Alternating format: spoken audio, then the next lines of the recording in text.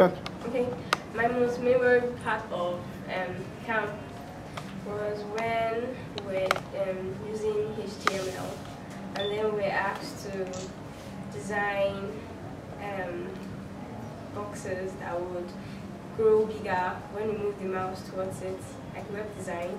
So it was really nice knowing that you could actually do that. And I used to see it on websites. Uh, I wonder how they do it. So it was really interesting getting to do that.